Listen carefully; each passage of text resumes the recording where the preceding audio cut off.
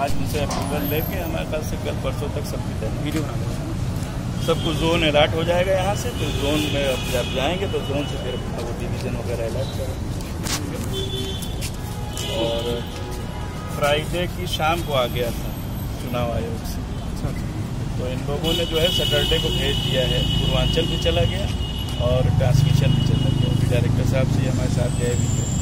बात हो गई है, सारे लोगों की तैनाती दो तीन दिन के अंदर है ना? तो आप लोग से आए हमारे पास फ़ोन पे भी बात हो जाती लेकिन आप लोग ये था कि नहीं चलेंगे शक्ति भवन देखिए देखेंगे। कम से कम आप आपसे मिल लेंगे देख लिया आप लोगों। ने हम सर एक तारीख को और आए थे यहाँ पे। झांसी और ललितपुर सहारनपुर। नहीं मैं समझ रहा हूँ। तो सर चूँकि आप सारे लोग कहाँ कहाँ के? जालौन। जालौन। पूरी यूपी से तीन सौ छियासी बच्चे थे। छियासी बच्चे हैं।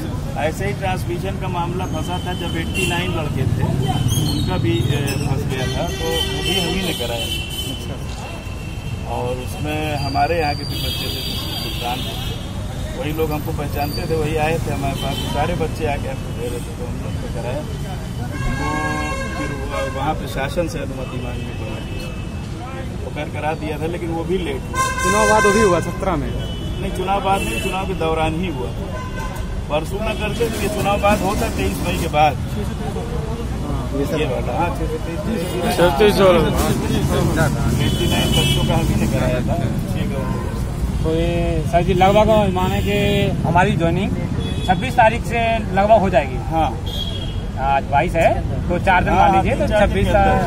देखिए ऐसा है कि सब पूरा हमारे ख्याल से वर्किंग कर ली है उन्होंने। क्योंकि वो जो देखते हैं गिरजा जी देखते हैं। हाँ।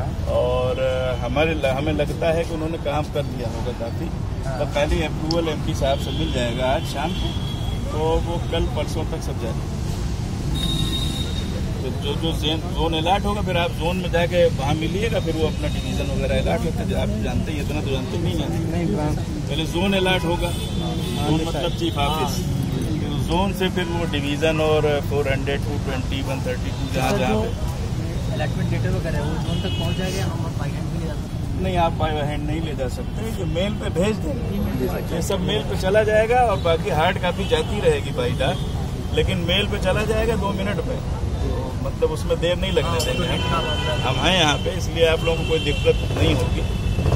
जैसे ही अप्रूवल मिल जाएगा एक दिन के अंदर सब जगह मेल करवा देंगे। सारे जहाँ जहाँ अलर्ट होगा जिसको सबके चले जाएँगे। मैं कोशिश करूँगा कि जो जिधर का है वही जोन अलर्ट हो। लेकिन होता ये है कि जोन वाइज जहाँ पे जितनी वैकेंसी रहती है अगर उससे ज़्यादा हो जाती है तभी वो फिर बदलता है। पिछली बार तो हमने यही किया था। कि जो जिधर का था उसको वही जोन अलर्ट करा के दिया। आसपास में तो देखिए आप लोग की के लिए बेहतर ये है कि ट्रांसमिशन एक डिस्काम है। पूरे प्रदेश में आप तीन साल चार साल बाद कहीं जा सकते हैं। दिक्कत डिस्ट्रीब्यूशन वालों को। जो जिनका जो डिस्काम अलर्ट हो जाएगा वहीं से रिटायर होंगे। क्योंकि आप लोग नॉन कॉमन कैडर हैं इसलिए आप लोगों का ट्रांसफ़र जो है वो डिस्काम से बाहर नहीं हो सकता। तो आप तो चूँकि ट्रांसको में है तो ट्रांसको का आदमी तो हर जगह जा सकता है।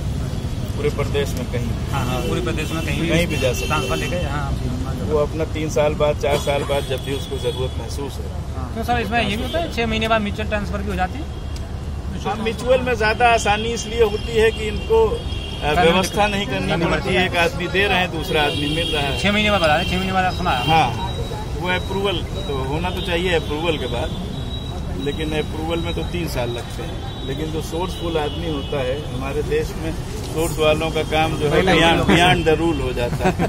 कानून कायदा उनमें आड़े नहीं आता। ये निरहुआ के लिए बनाया गया है आजमगढ़ से इलेक्शन लड़ रहा है। उसी के लिए सारे कानून कायदे बनाए हैं।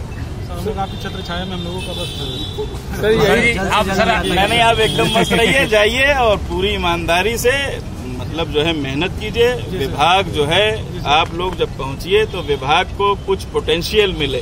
जी सर। बिल्कुल सर। जब तक सड़क पे रहता है बच्चा हम भी जब सड़क पे थे तो ये होता था कहीं खड़े होने की जगह में जब अंदर आ जाते हैं तो सोचते हैं कि यार ये तनख्वाह है भरोसे कैसे रहे? यार कुछ इधर उधर से भी होना चाहिए व्यवस्था कैसे होगी ये सब दिमाग में मत आइए जितना ऊपर वाले ने आपकी तकदीर में लिखा है उतना आपको मिलेगा।